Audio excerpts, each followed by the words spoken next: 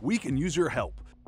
Call your cable provider and kindly demand that One America News is added to your lineup. Call today